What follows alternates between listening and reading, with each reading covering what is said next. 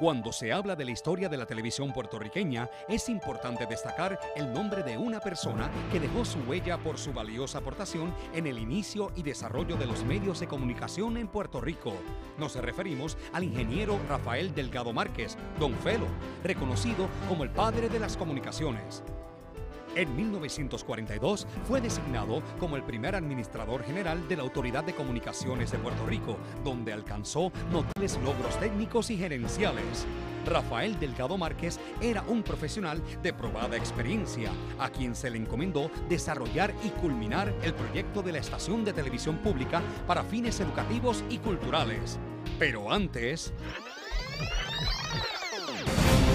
presta sus servicios para desarrollar la primera estación de televisión comercial de Puerto Rico, la WKAQ Televisión, donde fue el primer gerente general.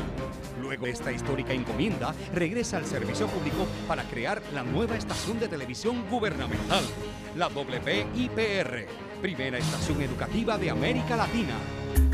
La primera transmisión ocurrió el 6 de enero de 1958 como parte del servicio de radio y televisión del Departamento de Instrucción Pública dirigido por Rafael Delgado Márquez. En 1961 termina su labor como administrador general y regresa como director de la Autoridad de Comunicaciones de Puerto Rico.